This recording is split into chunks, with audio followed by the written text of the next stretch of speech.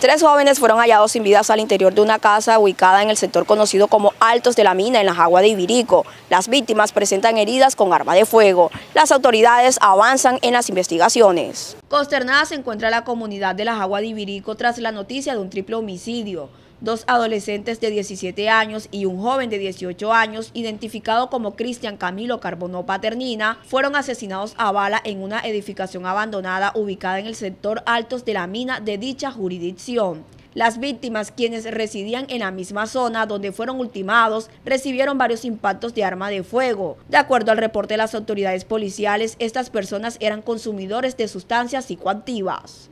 Hoy el mensaje para la comunidad es de condolencia, eh, de mucha tristeza, lamentamos profundamente los hechos sucedidos el día de hoy en el municipio de La Agua de Virico, donde fueron encontrados dos menores de edad de aproximadamente 17 años y una persona mayor de edad que hoy cumplía su mayoría de edad, eh, fueron encontrados ultimados eh, por armas, por impactos de armas de fuego, situación eh, en la que hoy todavía nos encontramos consternados como, funcionarios públicos, como administración pública. Queremos darle un mensaje eh, también de tranquilidad de parte de la alcaldía municipal, nuestro alcalde Obelio Jiménez, a toda la comunidad de las aguas de Ibirico.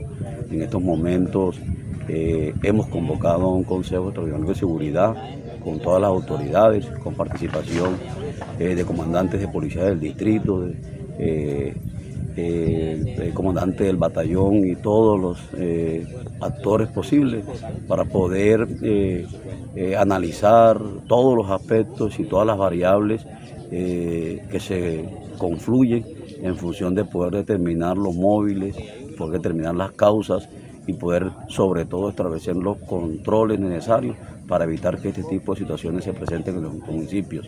El mensaje hoy para la comunidad de las aguas de Vico es que lamentamos profundamente los hechos, nos duele como habitantes, como jagüeros, eh, que este tipo de situaciones atenten contra la tranquilidad, contra la vulnerabilidad de cada una de las familias, a las familias de los fallecidos.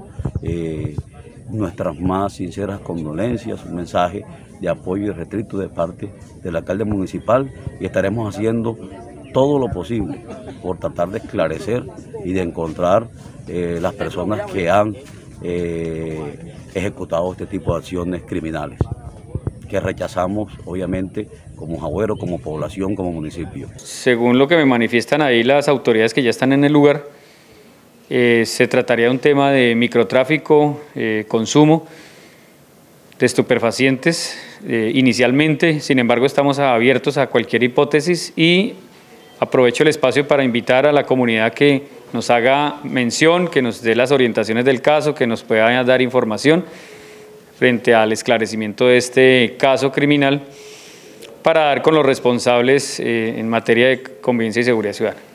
Evita el robo de tu vehículo. En GPS Alarma CJ tenemos lo mejor en seguridad vehicular. GPS para carros, motos y maquinaria de línea amarilla. Con monitoreo satelital 24-7.